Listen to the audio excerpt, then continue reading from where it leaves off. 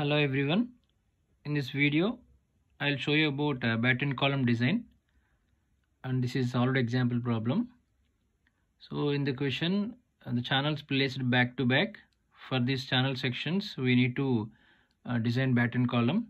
By using bolting we are going to connect these uh, batten uh, plates. And and both ends are hinged the condition they given. And the load is 1400 kilonewtons axial factor load and the spacing between the channels is 220 mm. So for this uh, uh, problem we need to design batten plates so in this the solution is here i am choosing the design of column uh, selected i mean i choose the channel section that is ismc 350 at uh, 413 newton per meter which is available in steel tables book.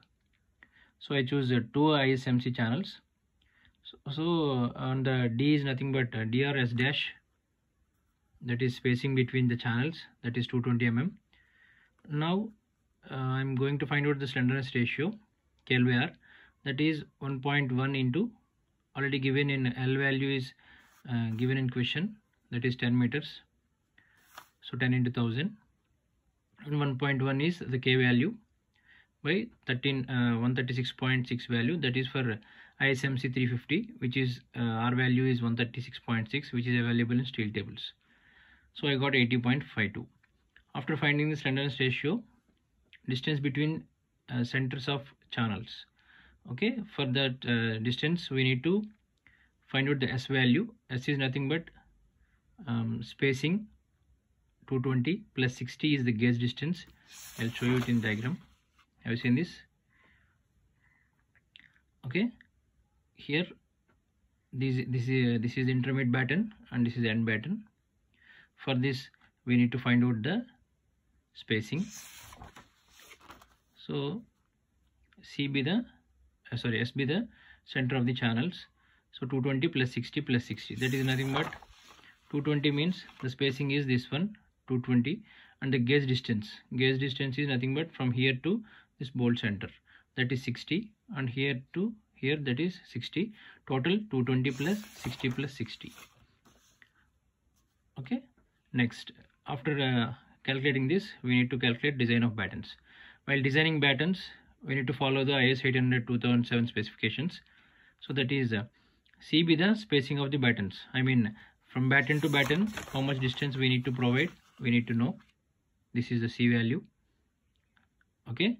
From uh, this batten to this batten C so spacing between battens that is C by RYY less than 50 the condition is. So RYY value is available in steel tables book for ISMC channel section. Uh, by using this RYY value I calculate C value C uh, C less than 14 15 and another condition is C by RYY less than 0.7 into KL by R. So by using this equation I am calculating C value. After getting these two values I am selecting uh, C, uh, C is I mean uh, spacing value is 14 15 okay? After that we are calculating transfer shear. These are the design conditions which is specified in IS 800 2007 so VT is transfer shear 2.5 percent axial load. So 2.5 percent means 2.5 100 axial load. We know that uh, which is given in question 1400 kilonewtons. So I got 35,000 newtons. So after that uh, VB VB VB value we need to calculate. Here uh, in code book I will show you. This is this. VB VTC by NS along the column axis. And moment we need to calculate the designs uh, specifications. VTC by NS so VT value we know that 35,000 C is uh, 1415 which we selected. And N is number of parallel planes that is two parallel planes. And S value is 340 here we calculated that. Like that I calculated VT value. I got this one.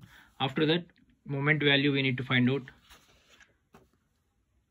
So moment m equal to VTC by 2n I got this value. Okay? After that we need to calculate size of the battens. So uh, for uh, size of the battens first we need to find out effective depth of the end batten. So effective depth of the end batten means this is the batten plate. Okay? This is the effective depth and this is the overall depth. Overall depth means from here to here and effective depth means from this point to this point. So for this we need to calculate effective depth. By following the code uh, formulas effective depth is nothing but h dash plus 2 into cyy h dash is nothing but uh, spacing between the channels. 220 plus 2 into cyy value is 24.4 which is available in uh, steel tables book. For channel section ismc which we chose so i got 268.8 mm so i provided 270 mm after that overall depth. Overall depth formula is effective depth plus 2 into uh, gauge distance. So in the gauge distance i provided uh, 35 so that equal to 340 mm for battens. Okay? After that this is for end battens. After that we need to calculate intermediate battens. So intermediate battens effective depth formula is 3 by 4 times this 270 270 is nothing but an effective depth of the end batten. Okay? This is specified by code so I got 202.5 mm. I provided 210 mm. After that overall depth. Overall depth equal to same formula 210 effective depth plus 2 into gauge distance that is 280 mm. Next thickness of the battens. So thickness of the battens the code is specifying that 1 by 50th times into 340. 340 is nothing but uh, the value which we calculated that is the overall depth. Okay I got 6.8. So I am providing 8 mm thick plates. After doing all these we need to check the stresses in batten plates. I mean by applying the 1400 kilonewtons load how much stresses is uh, uh, applied in uh, batten plates. So for for that shear stress. So shear stress formula you know that here uh, the stress value we got vb 841925 by load by area 280 into 8 okay 8 mm is thickness and 280 is the length that overall depth so I got 24.05. The code is specified that it should be less than Fy by root 3 into 1 by 1.1. Hence it is satisfied. Next bending stress. And bending stress formula is 6m by td square. So 6 into m value already we calculated. Here we calculated the moment. So m by t into d square. t is thickness and d is that depth of that plate. So 280 square. So less than 272.72 which is this value hence it is okay. After that we need to connect those batten plates by using bolting. So i am using uh, 20 mm bolts. For that for the threaded portion i calculated this 0.78 pi by 4 d square. Already we know the area value. And 400 by root 3 into 1.25 this is uh, ultimate uh, ultimate strength of the bolt fub value that is 400 root 3 into gamma md sorry gamma mw that is 1.25 partial safety factor. This is available in code book this formula so I got 4527 newtons. So I'm not calculating the bearing which is much higher. So I'm taking a bolt value as 45272 why? Because every time you are considering the least value uh, when calculating the I mean uh, shear and bearing obviously we will get the bearing much higher value. That's why I'm not calculating. So bolt value is 45272 after calculation of these uh, bolt values we need to find out the how many bolts we need to use. So number of bolts required that is 17500 that is nothing but 17500 is nothing but we are having uh, the axial load i mean vt transfer shear is 35000 so we, here we are distributing the um, load equally. So 35000 divided by 2 that is 17500 and the bolt value. So i got 0.386 so i am providing 3 bolts to take into account due to stresses and bendings also. Okay to avoid the stresses and bendings i'm providing 3 bolts. Okay instead of 0.386 i'm providing 3 bolts. So now i'm going to check force in each bolt due to shear. So due to shear how much force is acting on each bolt? So 17500 already we know that. That is the shear by 3 bolts. So i got 5833.3 newtons. After that let the pitch be. Pitch means nothing but bolt to bolt distance bolt center to center distance. So for that i'm calculating 210 by 2 that is 210 is nothing but uh, already we provided the distance. That is uh, provided depth 210 so 210 by 2 that is 105 so force due to moment in extreme bolt. So in extreme bolt force due to moment. So i'm calculating mr by sigma r square is the formula. So moment already calculated. R is we know that 105 and uh, divided by summation of r square. Two uh, two r's are there. 105 square plus 105 square. I got 58958 so after that i'm calculating resultant force. Resultant force is nothing but adding these two values. Okay we know the formula. Uh, f1 square plus f2 square root over. So 5833.3 square plus 58958 square. So i got 592458 which is greater than our bolt value. Hence it is not safe because our bolt value is 45272 but the force is uh, force acting on that bolt is 5924 5.8 hence it is not safe. So that's why for safe side i'm providing 5 bolts.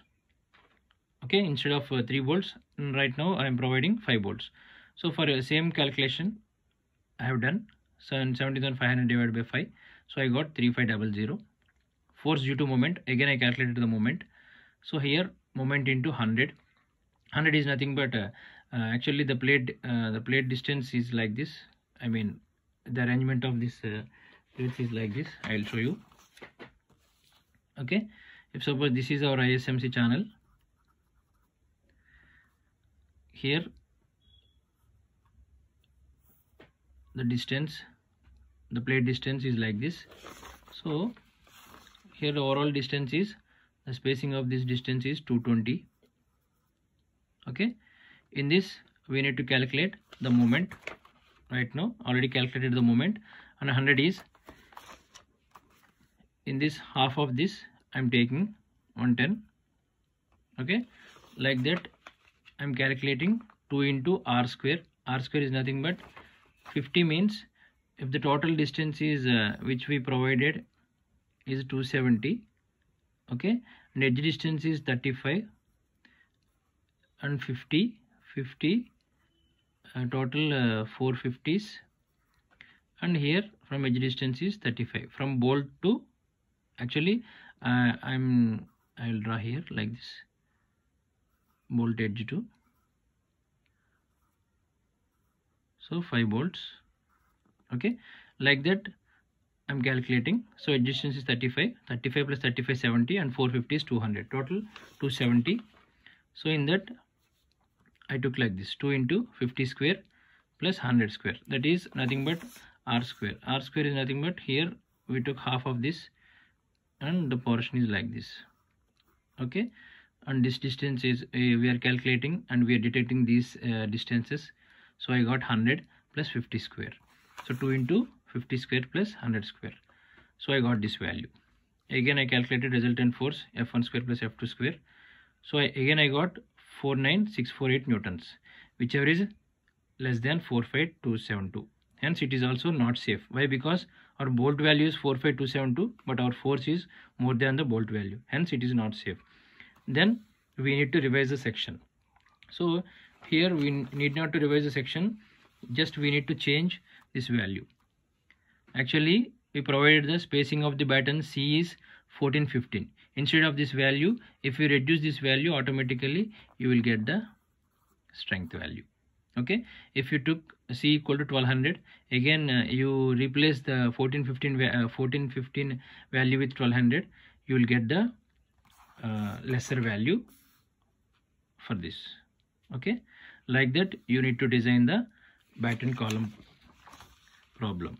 Okay uh, I mean uh, while de designing these lacings and battens you need to follow IS 800 2000 uh, specifications. If you are familiar with IS 800 2007 code book it is easy to solve the problems. Thank you so much. Thanks for watching